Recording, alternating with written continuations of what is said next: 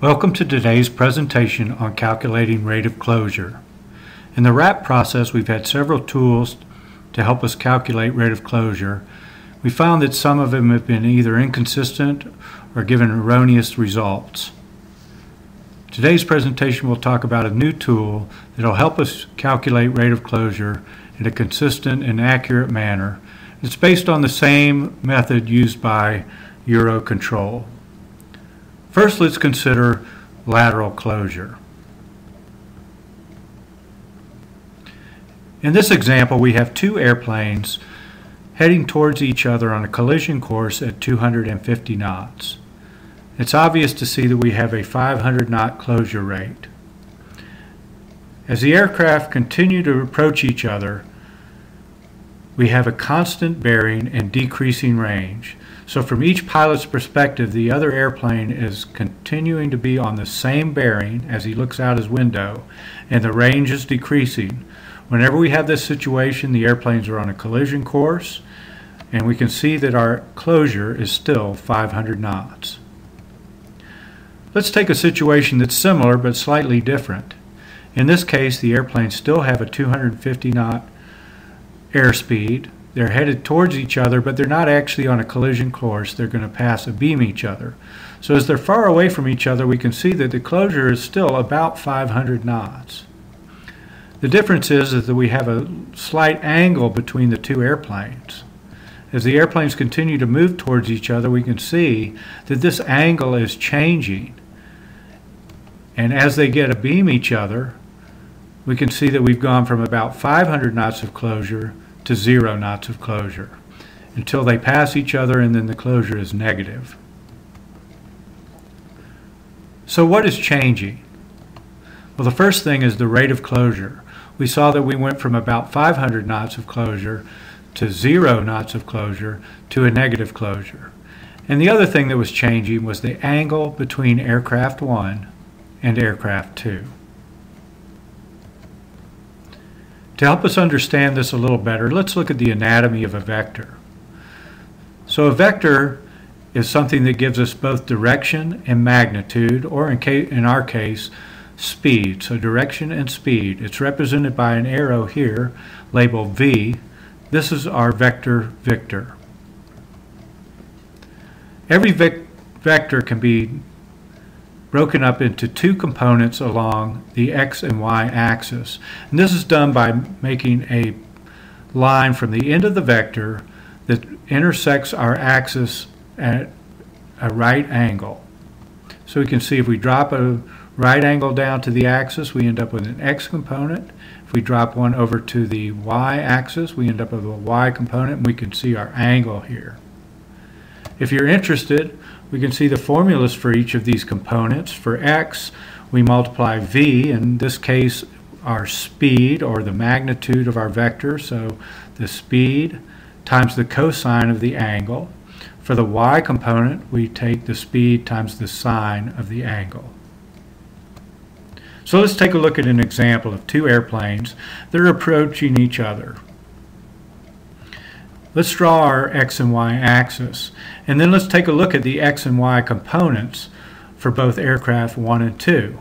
If we take a look at this, we can get a graphical picture of what's happening.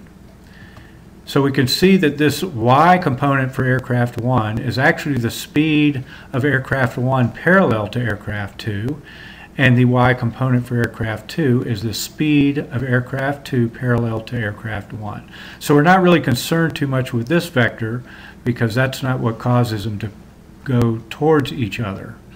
Now if we look at the x component we could see for aircraft 1 this is the speed of aircraft 1 or his portion of his vector that is going towards aircraft 2 and the same thing for aircraft 2 this is the portion of the vector the component of the vector that goes from aircraft 1 toward aircraft 2. It could go towards, it could go away, but this is the portion that we're concerned with. Now let's put some numbers here and see how these things work out. So first of all, aircraft 1 is on a 030 degree heading at 300 knots, with aircraft 2 on a 320 degree heading at 250 knots. The other important ingredient to this calculation is the course or heading of aircraft 1 to aircraft 2. And in this case, it's 090 degrees. So if we take a look at the x component for aircraft 1, which again is the speed of aircraft 1 towards aircraft 2, we'll put the numbers in for the math and we see that 300 knots times the cosine of the angle. In this case what we need to do for the angle is we're going to take the angle of aircraft 1 to aircraft 2 or the heading or course of aircraft 1 to aircraft 2 and then we're going to subtract the heading of the airplane. So in this case it's 090 minus 030 and we come out with 150 knots. And it's a positive number. Remember that vectors indicate direction and magnitude, so the direction is indicated by the sign. A sign of positive means to the right.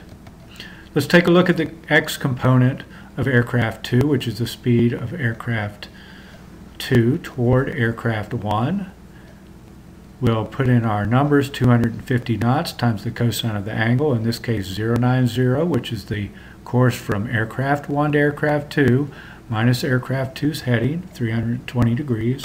And in this case, we end up with a negative number, negative 167.60.7 knots. Negative means a left direction. To get the combined closure, we're going to take the difference, or we're going to subtract the two and our closure comes out to be 150 knots minus a negative 160.7 to give us about 311 knots. Now let's take a look as these airplanes continue to move through the sky, what happens. Aircraft 1 is still doing the same heading and speed and the same with aircraft 2, but what has changed now is the angle between, or the heading or course between aircraft 1 and aircraft 2 which is 120 degrees now. So we need to kind of tilt our axis along that line from aircraft 1 to aircraft 2. So first of all, we're going to break our components down for x and y for aircraft 1 and aircraft 2. So the y component now is the darker red line along the y-axis. And for the x-axis, we want to drop a perpendicular line down from the end, which basically gives us no length. For aircraft 2, we look at our y-axis, which is the dark green line along the y-axis, and then our x component along the x-axis. If we look at the math, we'll look first at the speed of aircraft 1 towards aircraft 2. We put the numbers in, 300 knots times the cosine, again, of the angle from aircraft 1 to 2 minus the air, aircraft's heading. And we come up with 0 knots, just like it looks in the picture. Let's take a look at the X component for aircraft 2. We see this is the speed of aircraft 2 towards aircraft 1. 250 knots times the cosine of the angle gives us a negative 234.9 knots. We take the difference of the two and we end up with about 235 knots of closure.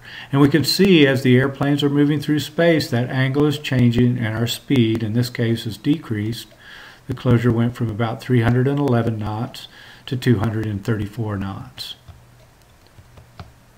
So we can see that as the angle or the course from aircraft 1 to aircraft 2 changes, the rate of closure also changes. The other thing that we can see is that the rate of closure is the difference in the component of closure along the line from aircraft 1 to aircraft 2. In other words, the component that lies along that line from 1 to 2 is the portion that we're concerned with. Let's take a little picture of what's going on and that will help explain what we're talking about. So our first example, we had the two airplanes beam each other. We drew our line from aircraft 1 to aircraft 2. Then we want to find out the component of the vector along that line.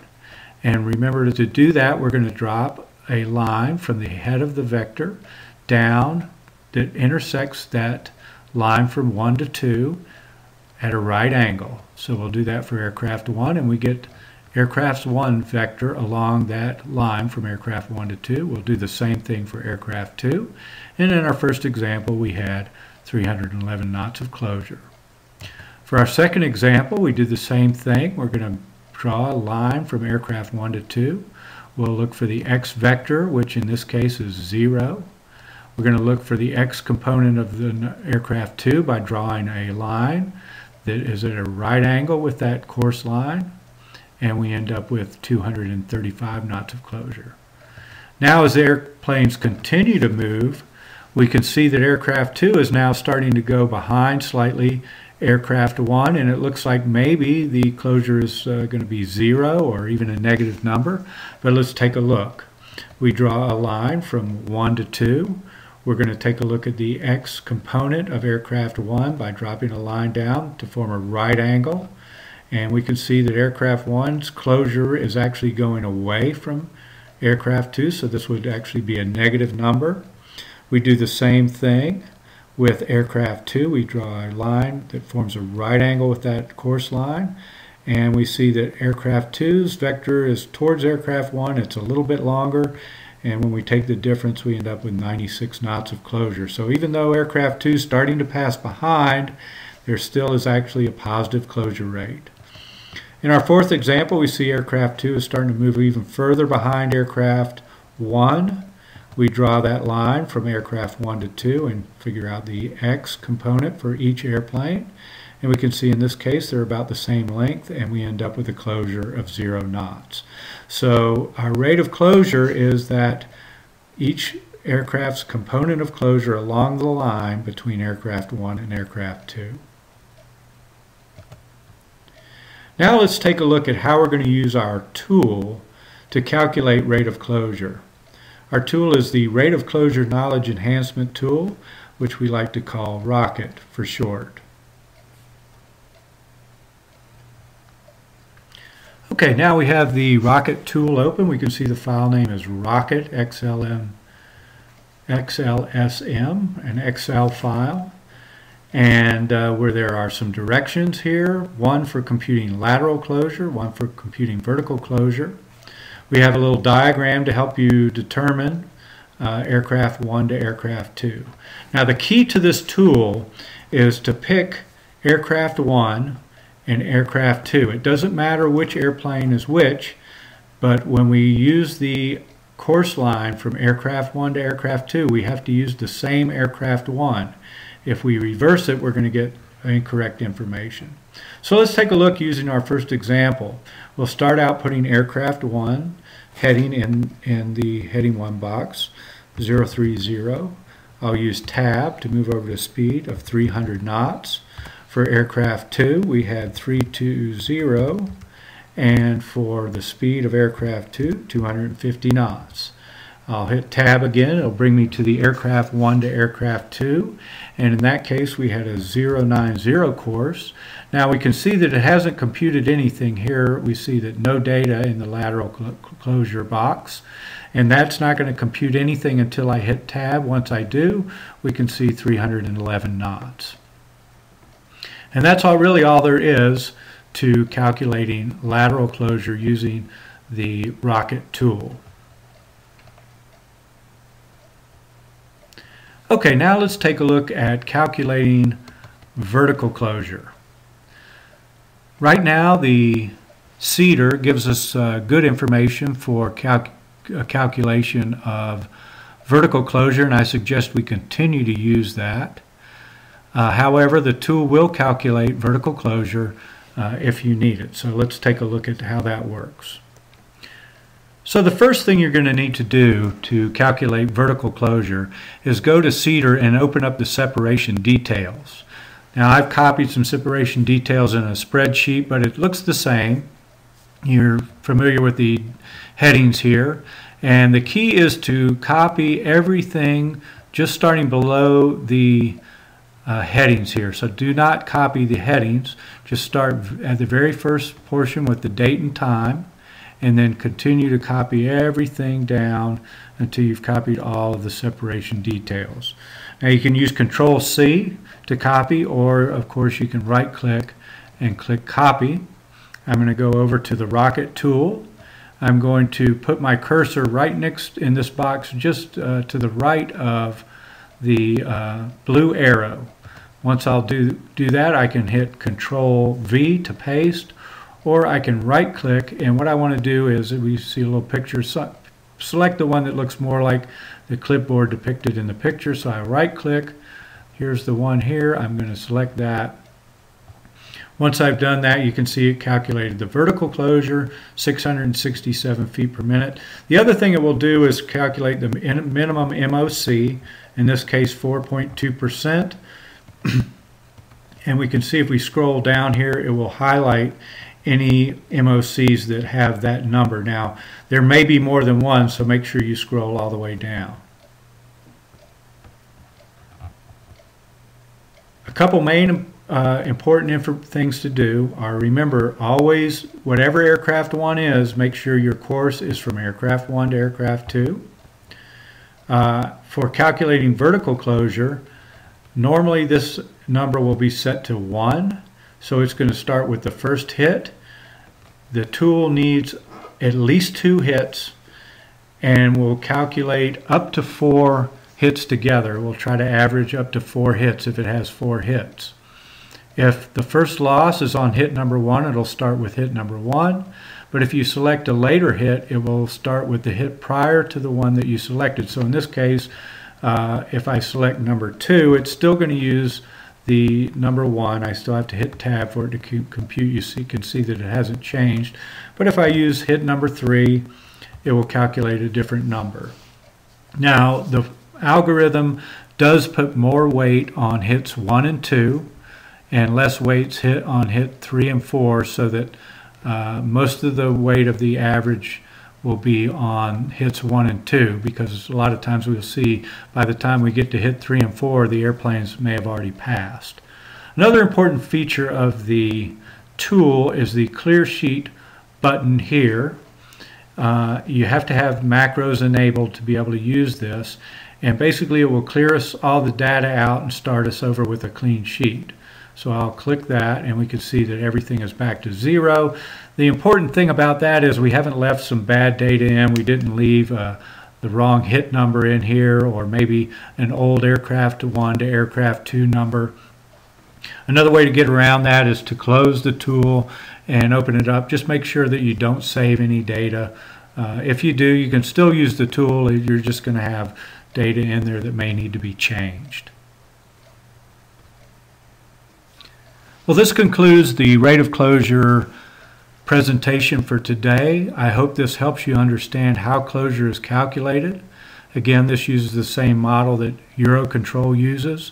I hope this tool will be something that is simple to use, gives us consistent and accurate results along all of the service areas, and that we can continue to use this until uh, we get something better, maybe something automated in Cedar.